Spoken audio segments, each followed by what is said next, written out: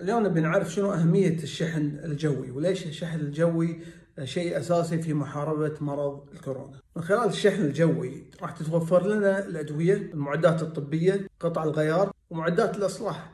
هذه كلها إذا ما عندنا إحنا شحن جوي ما راح توصلنا. فبالتالي الدول الموبوءة والدول اللي فيها الفيروس هذه تحتاج هذا الدعم والتواصل على طول عشان تجيها الأشياء هذه عن طريق الشحن الجوي لأن هذه أسرع وسيلة ممكن ننقل فيها الأمور هذه كلها. الشحن الجوي أيضا يدعم سياسة الحكومات في الحجر الصحي لأن من خلال الشحن الجوي نقدر نوفر حق الناس طلباتهم في الإنترنت أي شيء ممكن يطلبه يوصل عن طريق الشحن الجوي، وبالتالي إحنا دعمنا سياسة الحكومات من هذه الجهة. في مشكلة صارت هي القيود الصارمة اللي طلعت من الحكومات في إيقاف رحلات كثيرة وأيضا الشركات اللي تأثرت في إنها وقفت رحلاتها بشكل كبير، هذا ساهم في الحد من الشحن الجوي. ليش؟ لأن الطيارات اللي نستخدمها في آه، نقل الركاب نصها اللي فوق حق الركاب صحيح ولكن النص اللي تحت يستخدم للكارغو اللي هو الشحن الجوي يحطون آه، جناط الركاب في جزء أما الباقي كله يتعبى شحن جوي أغراض طلبات معدات وغيرها كلهم تحت.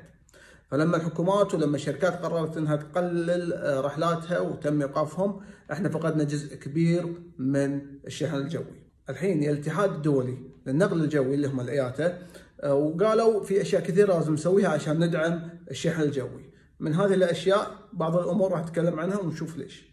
لازم تم استثناء الشحن الجوي من أي قيود موجودة عشان تساهم في حرب الكورونا والفيروس اللي منتشر في هذه الدولة للاسباب اللي ذكرناها أول شيء.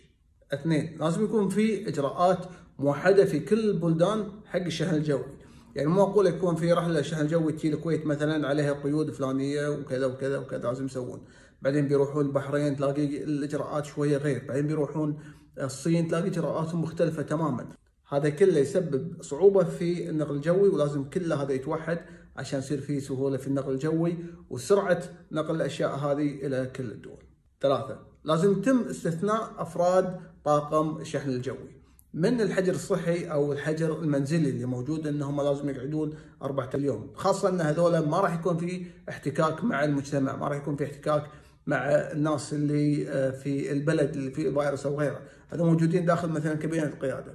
راح يتم تنزيل الأغراض اللي فيها الطيارة شيء وبعدين تحميلها مرة ثانية في البضائع والأشياء اللي يحتاجونها وبعدين راح تسكر وتطلع الطيارة. فمو من المعقول إن إحنا نطبق هذه القوانين أيضا على طاقم الشحن الموجودين في الشحن وني لأنها راح تسبب مشكلة. شنو المشكلة؟ آه شركة شحن مثلا أو أي شركة طيران تبي تشغل رحلات شحن. عندها مثلا 100 طيار على سبيل المثال. إذا ال 100 طيار سووا 10 رحلات أو آه 20 رحلة شحن جوي بعد أسبوعين راح ينتهي فينا الحال إنه ما عندنا ولا طيار. كلهم في الحجر. فبالتالي ما في أحد يطير طيارات عشان نبدأ ننقل المعدات المهمة هذه اللي راح تساهم في تخفيض المشكلة اللي إحنا فيها. الحقوق الموجودة لرحلات الشحن الجوي، طبعا أي رحلة تطلع وتروح مكان ثاني راح يكون عليها رسوم أرضية، رسوم دخول، رسوم طيران، وايد أشياء، هذه الأشياء لازم تكون مدعومة. عشان تقدر شركات الشحن تكون تحرك بسهولة أكثر وما يصير عليها قيود وصرامة تسبب لها صعوبة وتكلفة فبالتالي يقول لك والله بدال ما أنا أشتغل خل أوقف أو خل أقلل لأن التكلفة علي عالية.